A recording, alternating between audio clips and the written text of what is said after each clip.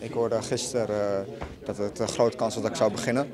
En uh, vanuit daar ja, begon de voorbereiding op de wedstrijd. Ja, hoe was het dan vandaag, de, de busreis, et cetera? Ja, het was gewoon, was gewoon prima. Natuurlijk komt er altijd wel wat spanning bij kijken, omdat je eerste keer is. Alleen uiteindelijk vond ik dat gewoon prima verlopen. En kon ik gewoon normaal de wedstrijd beginnen. Ja, hoe was de wedstrijd? Ja, de wedstrijd, ik denk dat we de eerste 20 minuten gewoon het betere spel hebben. Alleen maar aan de bal, geen de problemen gekomen.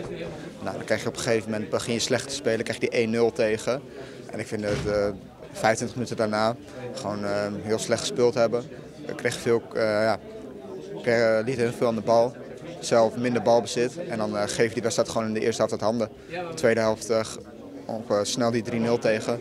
Dat is zonde. En uiteindelijk vecht je nog de 3-1 terug, maar dat is niet genoeg. Nou, hoe waren de omstandigheden? Want je, je ziet op je neus en op je, je hele gezicht zit onder de modder.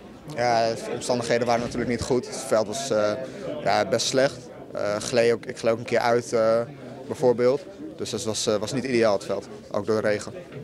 Nee, het was je debuut, maar je begon met lef. je gooide er een schaar uit, je schoot een keer op doel. Ja, ik kreeg ook de opdracht mee om ook aanvallend mijn steentje bij te dragen.